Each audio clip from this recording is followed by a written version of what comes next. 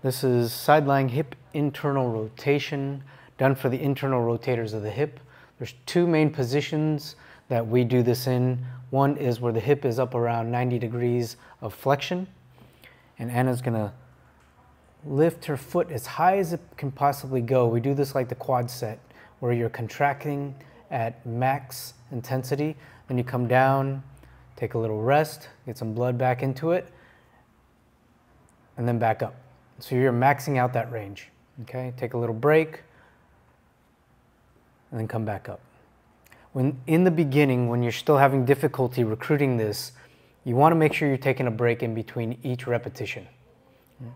Once you can acquire the height and get through your range of motion at the fullest, then we can start the strengthening aspect of it, which will involve you going through it with no break until fatigue. Okay, so you can see Anna put her knee up on a pillow or a cushion. This will keep the hip relatively neutral.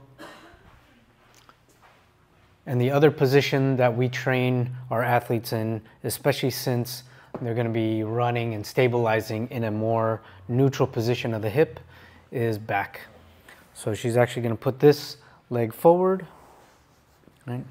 And then we'll put the cushion more straight. And then Anna's to have her thigh more lined up with her spine, and she'll come up from that neutral position. Okay?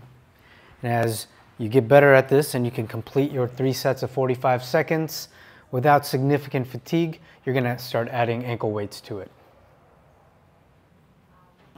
And that is hip internal rotation, two ways.